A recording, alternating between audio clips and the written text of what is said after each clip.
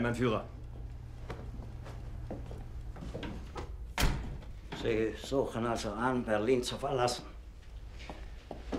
Mein Führer, wie Sie wissen, sind alle ärztlichen Administrationen und Verbände, die der SS und Himmler unterstellt sind, inzwischen aus Berlin abgezogen. Himmler ist ein Verräter. Er wird seiner gerechten Strafe nicht entgehen.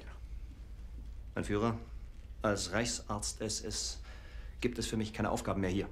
Ihr Ansuchen, Berlin zu verlassen, ist ganz und gar unakzeptabel. Meine Familie. Falls die Russen mich. Ich muss hier weg. Sie haben nichts Unrechtes getan. Was Sie mit Ihren medizinischen Forschungen erreicht haben, dafür werden Ihnen kommende Generationen dankbar sein. Ich übernehme für alles die volle Verantwortung.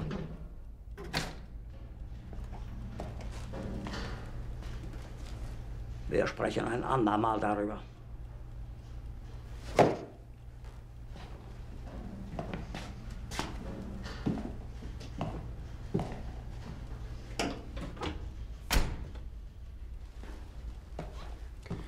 Wir können den Gruppenführer Fegelein nirgendwo finden.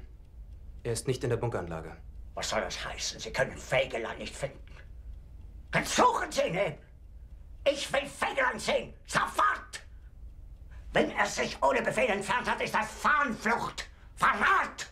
Bringen Sie mir Fegelein!